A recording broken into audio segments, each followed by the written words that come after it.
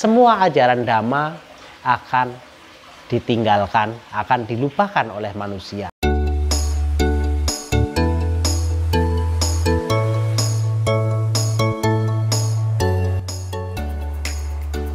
Sahabat siswa Buddha, Namo Buddhaya.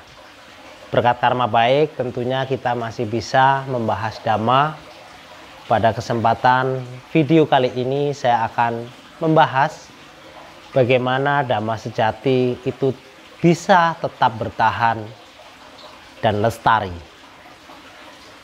Dhamma sejati atau ajaran Buddha tetap bisa bertahan ini adalah tergantung dari umat Buddha itu sendiri. Dalam Sadama Pati Rupaka Sutta, Sang Buddha menyampaikan ada beberapa hal yang mempengaruhi lenyapnya atau tidak dikenalnya ajaran Buddha. Dalam sutta ini diceritakan yaitu Biku Mahakasapa menanyakan kepada Sang Buddha mengapa saat peraturan kemoralan itu lebih sedikit tetapi banyak para biku yang mencapai tingkat-tingkat kesucian akhir atau arahat tetapi pada saat lebih banyak peraturan moral yang diterapkan lebih sedikit para biku yang mencapai tingkatan tingkatan kesucian akhir atau nibat atau arahat.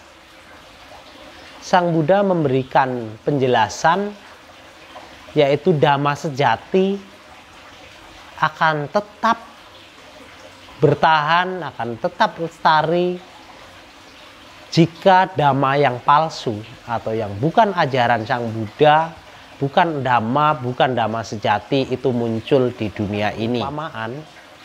Kemudian Sang Buddha memberikan perumpamaan emas murni akan tetap bertahan akan tetap dicintai oleh manusia jika tidak muncul emas yang palsu. Tetapi ketika ada emas yang palsu muncul, maka manusia mulai banyak yang meninggalkan emas asli. Karena emas yang palsu ini adalah lebih mudah mendapatkan, lebih murah, lebih mudah pemeliharaan dan sebagainya. Makanya emas yang murni itu tidak lagi menjadi hal yang populer karena emas yang palsu bisa bisa disamakan atau mirip-mirip secara penampilan dan di situlah emas yang murni akan mulai ditinggalkan oleh manusia.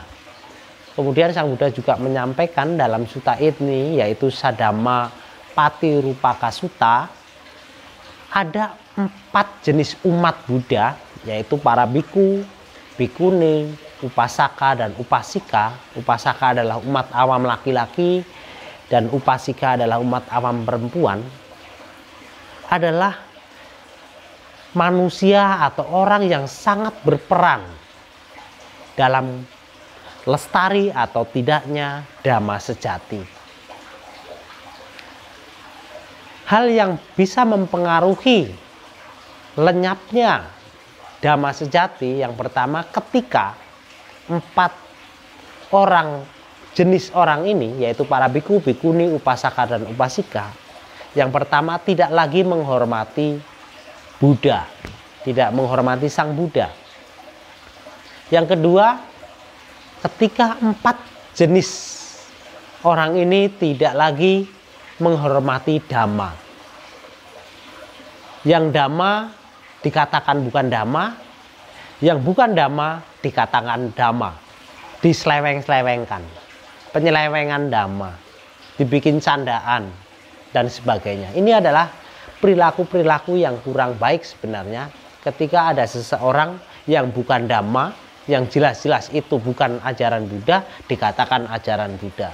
Yang ajaran Buddha dikatakan bukan ajaran Buddha. Ini adalah contoh perilaku dari umat Buddha sendiri yang secara tidak langsung akan menghancurkan dhamma sejati itu sendiri. Kemudian yang ketiga adalah tidak memiliki hormat lagi kepada sangga. Sangga di sini adalah perkumpulan para biku maupun bikuni. Ketika para biku itu sendiri, bikuni itu sendiri, umat awam, upasaka dan upasika tidak memiliki hormat lagi kepada perkumpulan para biku, maka dhamma juga akan ditinggalkan oleh manusia atau dhamma sejati tidak akan bertahan. Kemudian yang keempat, jika biku, bikuni, upasaka dan upasika tidak memiliki hormat lagi kepada sila, pelaksanaan sila, tidak mempraktekkan sila-sila, tidak mempraktekkan peraturan-peraturan kemoralan yang seharusnya dilakukan. Ini mulai ditinggalkan sila itu sendiri.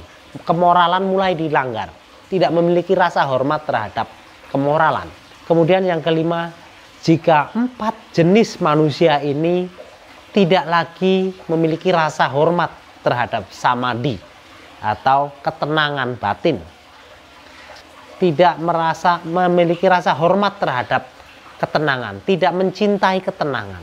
Nah, di situlah dhamma sejati bisa lenyap di dunia ini, ditinggalkan oleh manusia.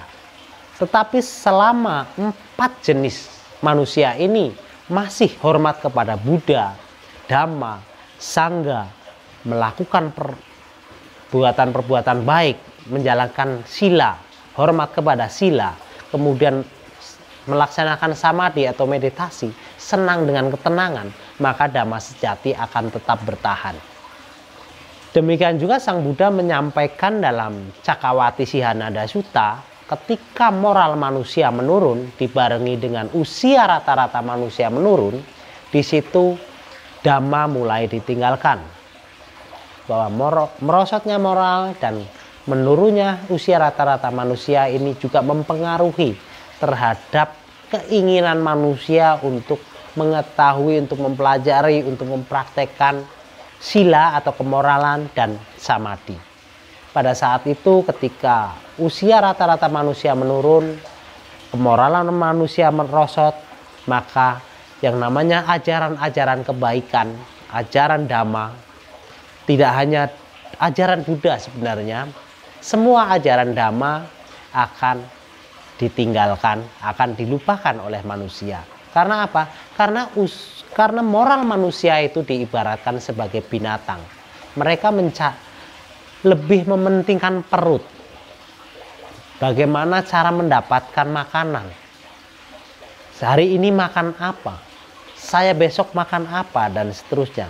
Karena persaingan hidup di masa yang akan datang pasti lebih kompleks jadi sahabat siswa Buddha, kita sebagai umat Buddha memiliki peranan penting untuk menjaga dhamma supaya tetap lestari, supaya tetap terjaga, supaya tetap dikenal oleh umat Buddha, oleh umat manusia, tentunya untuk kebahagiaan manusia itu sendiri, untuk kebahagiaan semua makhluk.